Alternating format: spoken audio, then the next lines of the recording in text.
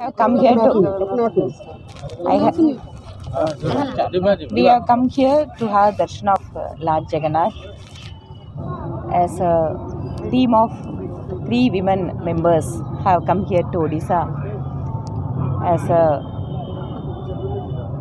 team constituted by our honorable national president Shri JP Nadda ji to visit the family of the victim in Journey village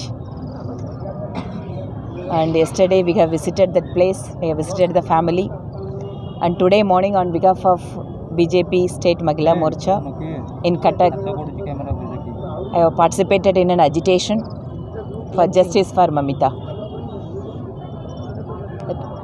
Our uh, state unit demand is the home minister has to be removed and uh, the cbi investigation has to be ordered it must be handed over the investigation to CBI. And third, the family has to be suitably compensated. And uh, in coming days, BJP state unit is going to intensify the agitation. Okay.